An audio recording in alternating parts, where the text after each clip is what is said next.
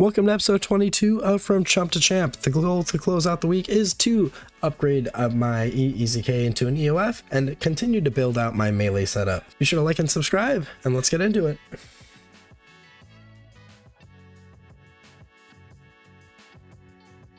So with last episode, I did 100 hard clues, um, and I still have a whole lot more cluing to do because I only knocked out one of the uh, four EO or chemical hydrixes that I need. So uh, I thought I would start this episode out by making my chip tabs for Evil Dave's spellbook, um, just to make sure that I have those extra teleports to make this a little bit easier on myself, so I can stop being a bumbling fool when doing my clues. Took me about 20 minutes, but I have a decent stack now. I have uh, 78 of uh, Camelot, Falador, Lumbridge, and Varrock, because you know really don't use those too much for clues. And I made 130 of the ones that are commonly used for hards, which is Watchtower and Ardougne. I think I'm also going to probably make another like 50 or 50, or probably another 70 of the heart teleports uh, for when I do my masters. And uh, I missed it. Ah! I just DC'd too. Am I back? Can you guys hear me? Yeah, I DC'd right at the reflect. I don't know if I like nearly killed somebody or not. I do apologize.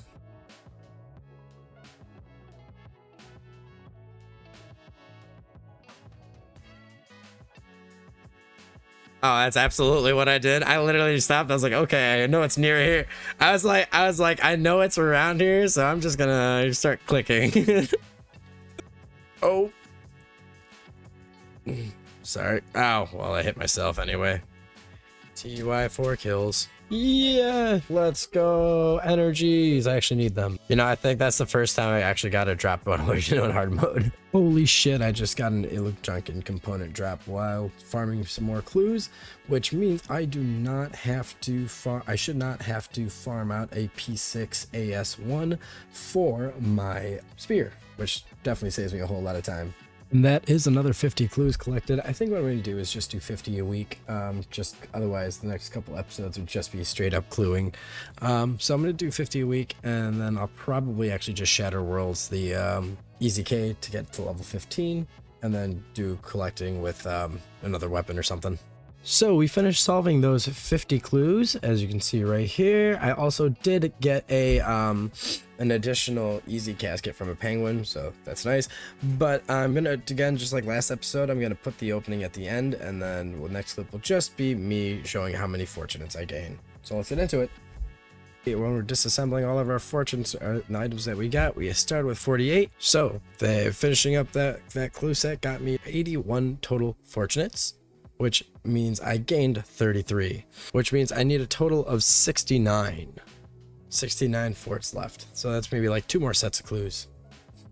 So we got all our stuff here prepped for another Essence of Finality. So let's uh, go make that Alchemical Hydrix.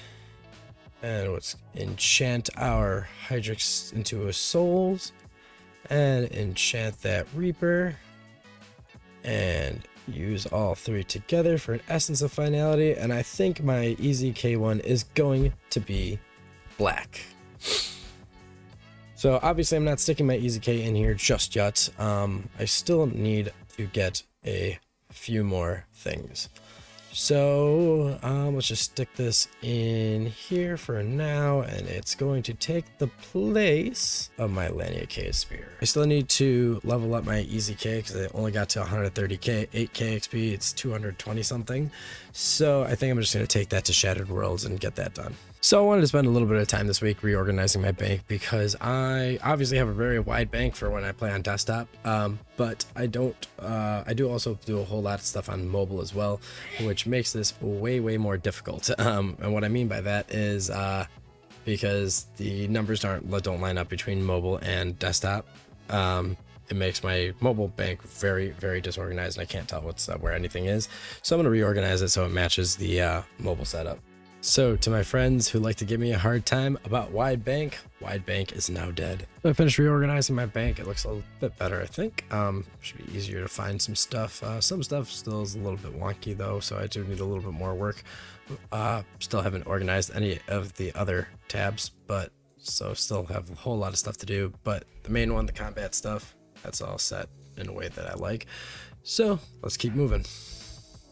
I think we're going to go into an hour of Nex because it's been a while since I've done Nex. I would like to upgrade my, um, get a few Torva drops because I am just the uh, Torva energy off of, where is it? There it is. I just need the uh, melee essences. I believe I need 10 to get uh, full trim masterwork. Uh, someone correct me if I'm wrong, but I want to try to get full trim masterwork ASAP so that I can start melee camping so let's get on to the Nex. I just realized I forgot my quiver. And my quiver has the wrong ammo. This is a great start. God, what am I doing? The hell am I doing? That was a god-awful kill. I can almost take all the brews. and these kills are god-awful. I completely forgot how to do this. Aw, oh, I thought I got something. Stupid clue scroll side too. Fantastic. A whole lot of brews this kill or this hour, I guess. Kill started way smoother, and then went to shit at Zaros phase somehow. Dude, I've gotten 180 brews so far this hour. This is insane. What the hell am I doing? Alright, finally a decent frickin' kill at sub 230. Dude, I literally just made like 600 note paper and I'm down to 104. Man, that should have PR'd, but I accidentally uh, stopped like attacking for like six seconds. Would have skipped the next prison, man. It was a useful dark bow. I literally dark bowed Nex when she had zero HP, or when she was at HP cap. Oh, I did it again. Oh, the kill was smooth until I got popped by something random as shit. Two hours and no drops. Feels bad, man. I want to check how well this works now. Um, obviously, as I said before, I want to EOF my EZK. Uh, so I decided to jump it into Shattered Worlds and just try to Meteor Strike into D2H spam. I mean, it's not as good as it was, but you know, with Meteor Strike, with Meteor Strike buff, you can definitely get a whole lot of um, adrenaline for free anyway. So I can continue to spam D2H editing me here, I realized I messed up a little bit on talking about the whole idea of what I am doing. So the idea is to pick a world where you can start with feeling pumped, and then you, when you get the feeling pumped proc, you uh, spam your D2H, and then once uh, the pump feeling pumped uh, buff wears off, then you would meteor strike to continue to be able to uh, D2H.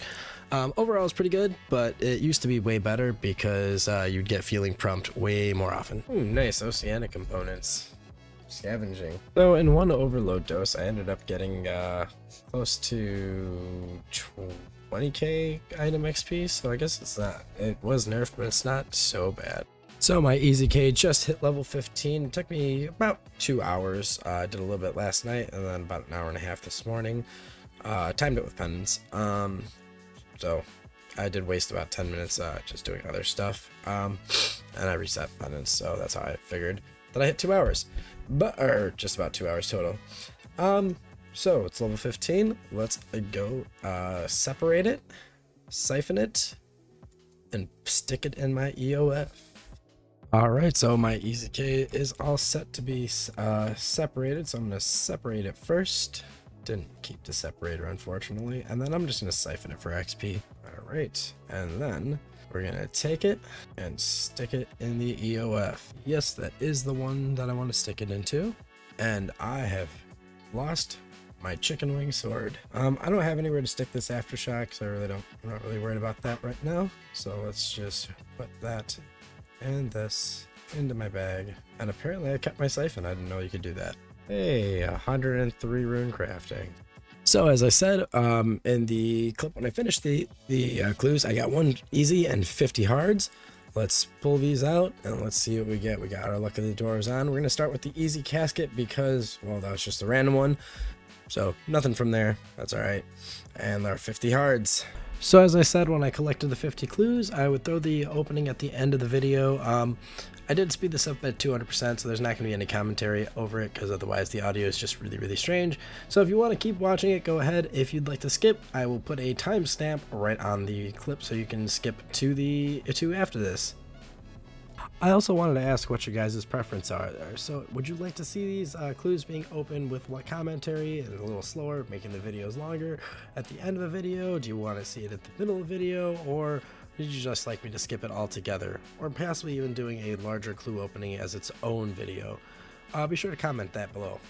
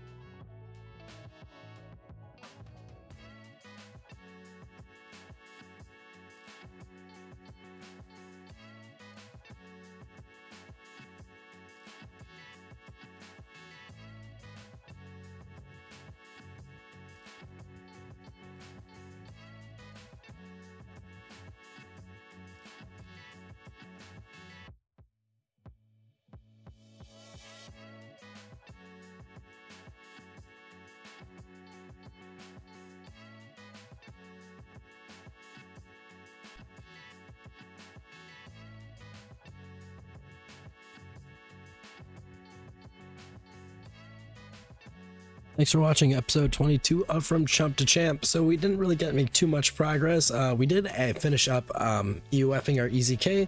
So I now am almost done with my melee setup. Um, if you look at the graph, we are currently at 49 mil. So yes, the graph did go down, but I think it's understandable considering I had not done really any um, any PVM. I did a little bit of Nex. I didn't get any Alex during that time. Um, all the Alex came from clues, and a lot of those clues honestly didn't get thrown into the Alker yet. So money is going up, but it's just not there yet. Um, be sure to like and subscribe, and thanks for watching.